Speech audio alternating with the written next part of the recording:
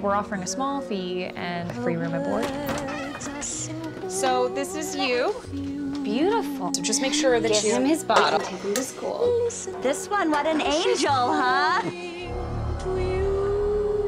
Where are the kids? Ben!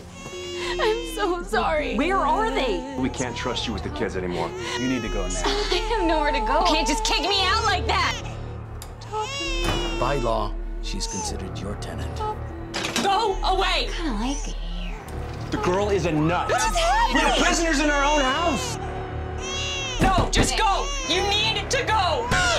Go away. Let me in. Just leave my family alone. This is my family. Everything is gonna be okay. I'm so sorry.